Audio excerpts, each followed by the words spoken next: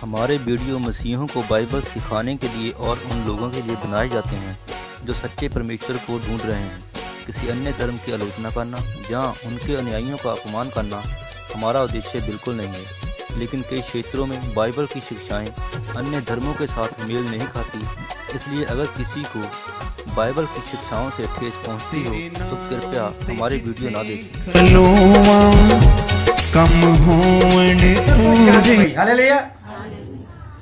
ਆਪਾਂ ਬਚਨ ਸੁਣਨਾ ਆ ਔਰ ਬਚਨ ਦੇ ਕੋਲੋਂ ਬਰਕਤ ਲੈਣੀ ਆ। ਇਹ ਬਚਨ ਤੁਹਾਡੇ ਅੰਦਰ ਹੋਣਾ ਬਹੁਤ ਜ਼ਰੂਰੀ। ਕਿਉਂਕਿ ਇਸ ਬਚਨ ਤੋਂ ਹੀ ਤੁਹਾਨੂੰ ਸਾਰਾ ਕੁਝ ਮਿਲਣਾ। ਹਾਲੇਲੂਇਆ। ਕੋਈ ਇਨਸਾਨ ਕਿਸੇ ਨੂੰ ਕੁਝ ਵੀ ਦੇ ਸਕਦਾ ਅਗਰ ਜੇ ਕੁਝ ਦੇ ਸਕਦਾ ਤਾਂ ਇਹ ਪਰਮੇਸ਼ਵਰ ਦਾ ਜਿਉਂਦਾ ਬਚਨ ਹੈ। ਹਾਲੇਲੂਇਆ। ਹਾਲੇਲੂਇਆ। ਜਿਸ ਤਰ੍ਹਾਂ ਯੋਹੰਨਾ ਦੇ ਵਿੱਚ ਲਿਖਿਆ ਹੋਇਆ ਯੋਹੰਨਾ ਦੀ ਜੀ ਟੌਪ ਪੜਾਂਗੇ ਉਹਦਾ ਆਪਾਂ। ਕਈਆਂ ਦੇ ਮਨ ਦੇ ਵਿੱਚ ਰਹਿੰਦਾ ਕਿ ਯਾਰ ਇਦਾਂ ਕਿੱਦਾਂ ਹੋ ਜਾਊਗਾ ਇਹ? ਹਾਲੇਲੂਇਆ। ਯੋਹੰਨਾ ਦੀ ਅਜੀਲ ਆ ਲੂਕਾ ਦੇ ਨਾਲੇ ਹੀ ਆ ਮੂਹਰਲੇ ਪਾਸੇ। ਆ ਇੱਕ ਐਤੋਂ ਬਚਨ ਪੜਾਂਗੇ। ਇੱਕ ਬਾਪ ਇੱਕ ਐਤੋਂ। ਜਲਦੀ। ਲੂਕਾ ਆ ਯੋਹੰਨਾ ਦੀ ਅਜੀਲ ਸ਼ਬਦ ਦੇ ਧਾਰੀ ਹੋਇਆ ਯੋਹੰਨਾ ਸਾਰੇ ਬਪਤਿਸਮਾ ਦੇਖਣਾ ਕਿ ਸੱਚਮੁੱਚ ਬਚਨ ਸਾਨੂੰ ਬਰਕਤ ਦੇ ਸਕਦਾ। ਇਹ ਬਚਨ ਸਾਡਾ ਵਾਧਾ ਕਰ ਸਕਦਾ। ਸਾਰੇ ਜਾਣੇ ਜਿਹਨੇ ਆਪਾਂ ਕੋਲ ਬੈਠੇ ਜਿਨ੍ਹਾਂ ਕੋਲ ਨਹੀਂ ਹੈਗਾ ਉਹ ਇਧਰ ਉਧਰ ਝਾਤ ਮਾਰ ਲੈਣਗੇ। ਹਾਲੇਲੂਇਆ। ਹਾਂਜੀ ਪੜਾਂਗੇ ਜਲਦੀ ਬਚਨ। ਆਦ ਵਿੱਚ ਸ਼ਬਦ ਸੀ ਔਰ ਸ਼ਬਦ ਆਦ ਵਿੱਚ ਸ਼ਬਦ। ਜਦੋਂ ਕੁਝ ਵੀ ਨਹੀਂ ਸੀ ਨਾ ਧਰਤੀ ਸੀ ਨਾ ਆਕਾਸ਼ ਸੀ ਨਾ ਕੋਈ ਇਨਸਾਨ ਸੀ। ਹਾਲੇਲੂਇਆ ਆਦ ਵਿੱਚ ਜਦੋਂ ਧਰਤੀ ਉੱਪਰ ਕੁਝ ਧਰਤੀ ਦਾ ਨਾਂ ਨਿਸ਼ਾਨ ਵੀ ਨਹੀਂ ਸੀ ਉਦੋਂ ਕੀ ਸੀਗਾ? ਸ਼ਬਦ। ਸਿਰਫ ਇੱਕ ਸ਼ਬਦ। ਹਾਲੇਲੂਇਆ ਉਦੋਂ ਕੀ ਸੀਗਾ? ਇੱਕ ਸ਼ਬਦ। ਸ਼ਬਦ ਤੋਂ ਕੀ ਹੋਇਆ? ਹਾਂਜੀ ਪੜਾਂਗੇ। ਆਦ ਵਿੱਚ ਸ਼ਬਦ ਸੀ ਔਰ ਸ਼ਬਦ ਪਰਮੇਸ਼ਰ ਦੇ ਸੰਗ ਸੀ। ਸ਼ਬਦ ਹੀ ਪਰਮੇਸ਼ਵਰ ਦੇ ਸੰਗ ਸੀ। ਆਦ ਵਿੱਚ ਸ਼ਬਦ ਸੀ ਔਰ ਸ਼ਬਦ ਹੀ ਪਰਮੇਸ਼ਵਰ ਦੇ ਸੰਗ ਸੀ। ਹਾਲੇਲੂਇਆ ਆਦ ਵਿੱਚ ਕੀ ਸੀਗਾ? ਸ਼ਬਦ। ਔਰ ਸ਼ਬਦ ਕਿੱਥੇ ਸੀਗਾ? ਪਰਮੇਸ਼ਵਰ। ਦੇ ਔਰ ਕੁਝ ਨਹੀਂ ਸੀ। ਔਰ ਕੁਝ ਵੀ ਨਹੀਂ ਸੀ। ਨਾ ਜ਼ਮੀਨ ਨਾ ਅਸਮਾਨ ਤੇ ਨਾ ਕੋਈ ਇਨਸਾਨ। ਆਦ ਵਿੱਚ ਸ਼ਬਦ ਸੀ। ਔਰ ਸ਼ਬਦ ਹੀ ਪਰਮੇਸ਼ਵਰ ਦੇ ਸੰਗ ਸੀ। ਹਾਲੇਲੂਇਆ। ਅੱਜ ਅੱਗੇ ਪੜ੍ਹਦਾ ਮੈਂ ਜਲਦੀ। ਅਤੇ ਸ਼ਬਦ ਪਰਮੇਸ਼ਰ ਸੀ। ਸ਼ਬਦ ਹੀ ਵਾਹ ਵਾਹ ਵਾਹ ਵਾਹ। ਹਾਲੇਲੂਇਆ। ਪਹਿਲਾਂ ਕੀ ਲਿਖਿਆ? ਆਦ ਵਿੱਚ ਸ਼ਬਦ ਸੀ ਔਰ ਸ਼ਬਦ ਪਰਮੇਸ਼ਵਰ ਦੇ ਸੰਗ ਸੀ ਇੱਥੇ ਕੀ ਲਿਖ ਦਿੱਤਾ? ਸ਼ਬਦ ਹੀ ਪਰਮੇਸ਼ਵਰ ਸੀ। ਹਾਲੇਲੂਇਆ। ਹਾਲੇਲੂਇਆ। ਹਾਂਜੀ ਪੜਾਂਗੇ ਜਲਦੀ। ਇਹੋ ਆਦ ਵਿੱਚ ਪਰਮੇਸ਼ਰ ਦੇ ਸੰਗ ਸੀ। ਸਭੋ ਕੁਝ ਕਿਉਂਕਿ ਜਿਹੜਾ ਸ਼ਬਦ ਸੀ ਉਹ ਪਰਮੇਸ਼ਵਰ ਦੇ ਅੰਦਰ ਸੀ। ਹਾਲੇਲੂਇਆ ਹਾਲੇਲੂਇਆ ਜਿਹੜਾ ਸ਼ਬਦ ਸੀ ਉਹ ਪਰਮੇਸ਼ਵਰ ਦੇ ਅੰਦਰ ਸੀ। ਤਾਂ ਅੰਦਰੋਂ ਪਰਮੇਸ਼ਵਰ ਸ਼ਬਦ ਬੋਲਦਾ ਸੀ। ਤਾਂ ਉਸੇ ਟਾਈਮ ਉਹ ਪੂਰਾ ਪੂਰਾ ਹੋ ਜਾਂਦਾ ਸੀ। ਹਾਲੇਲੂਇਆ ਆਪਣਾ ਕੀ ਜਲਦੀ। ਇਹੋ ਆਦ ਵਿੱਚ ਪਰਮੇਸ਼ਰ ਦੇ ਸੰਗ ਸੀ। ਸਭੋ ਕੁਝ ਉਸ ਤੋਂ ਰਚਿਆ ਗਿਆ। ਸਭੋ ਕੁਝ ਸਾਰੇ ਜਣੇ ਧਿਆਨ ਨਾਲ ਸੁਣਾਂਗੇ। ਸਭੋ ਕੁਝ ਉਸੇ ਤੋਂ। ਰਚਿਆ ਗਿਆ। ਆਦ ਵਿੱਚ ਸ਼ਬਦ ਸੀ ਸ਼ਬਦ ਪਰਮੇਸ਼ਵਰ ਦੇ ਸੰਗ ਸੀ ਔਰ ਆਦ ਵਿੱਚ ਉਹੀ ਪਰਮੇਸ਼ਵਰ ਸੀ। ਹਾਲੇਲੂਇਆ।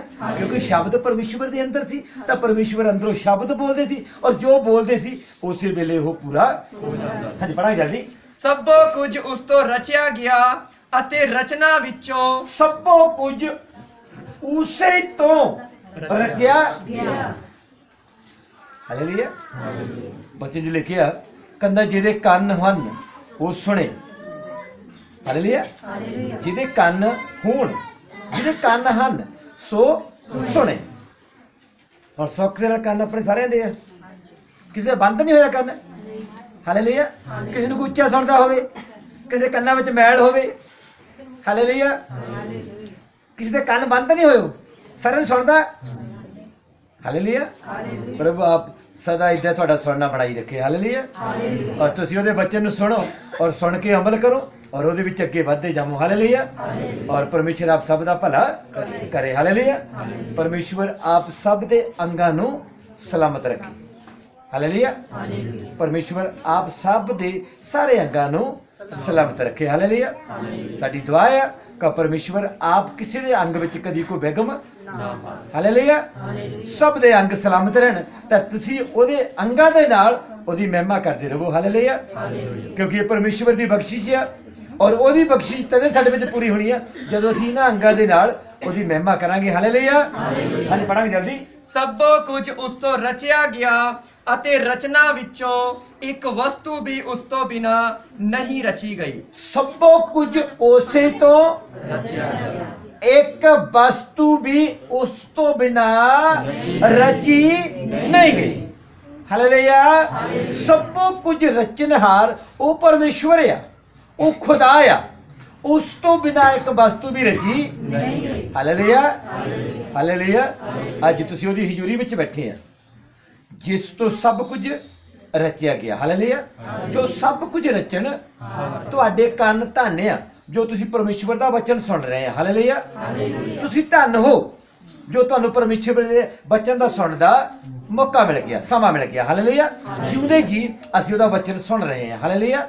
ਕਿਉਂਕਿ ਇਹ ਅਸੀਂ ਇੱਕ ਭਾਗਾਂ ਵਾਲੇ ਖੁਸ਼ਕਿਸਮਤ ਲੋਕ ਆ।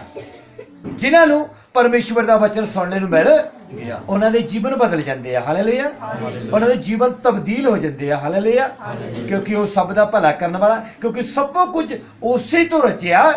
ਉਸ ਤੋਂ ਬਿਨਾ ਇੱਕ ਵਸਤੂ ਵੀ ਰਚੀ ਨਹੀਂ ਗਈ। ਹਾਲੇਲੂਇਆ ਅੱਜ ਪੜਾਂਗੇ ਜਲਦੀ। ਉਸ ਵਿੱਚ ਜਿਉਣ ਸੀ ਅਤੇ ਉਹ ਜਿਉਣ ਇਨਸਾਨ ਦਾ ਚਾਨਣ ਸੀ। ਹਾਲੇਲੂਇਆ ਉਸੇ ਦੇ ਵਿੱਚ ਜਿਉਣ ਸੀ। ਔਰ ਜਿਉਣ ਕਿਹਦਾ ਸੀ? ਇਨਸਾਨ ਦਾ ਹਾਲੇਲੂਇਆ ਹਾਲੇਲੂਇਆ।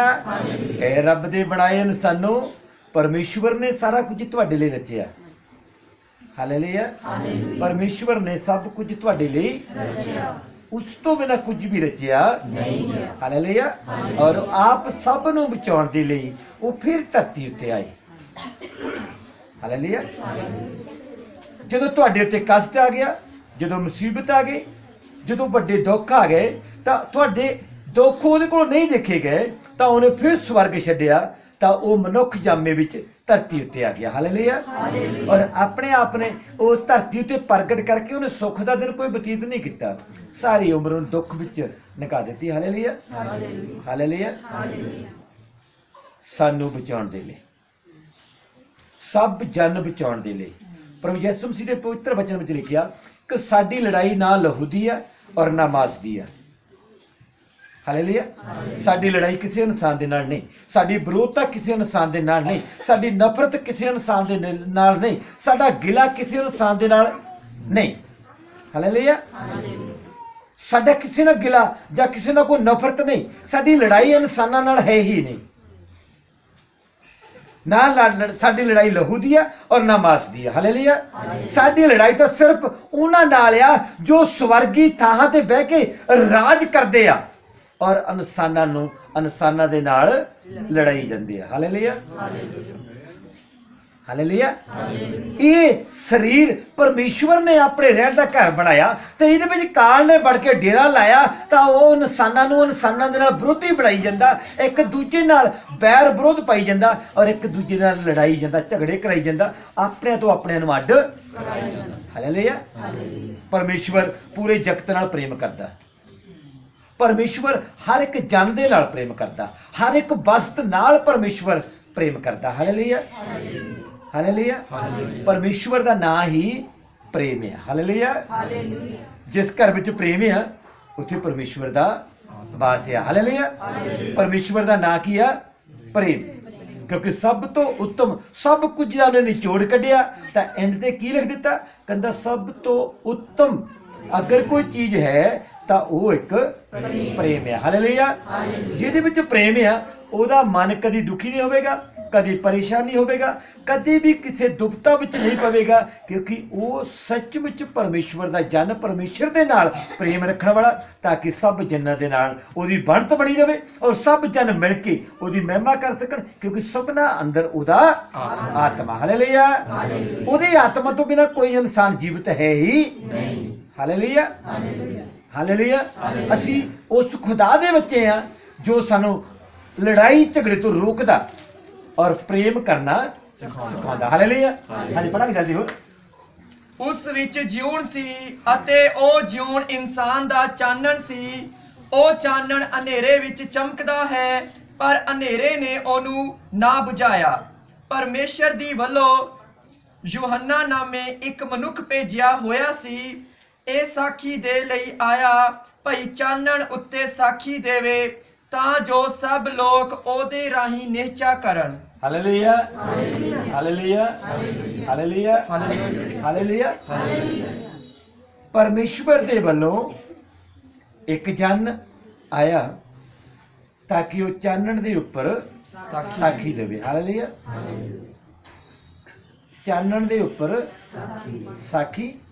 ਤਾਂ ਕਿ ਬਹੁਤ ਸਾਰੇ ਲੋਕ ਦੁੱਖ ਮੁਸੀਬਤ ਔਰ ਕਸ਼ਟ ਦੇ ਵਿੱਚੋਂ ਬਚਾਏ ਜਾਣ। ਹਾਲੇਲੂਇਆ। ਹਾਲੇਲੂਇਆ।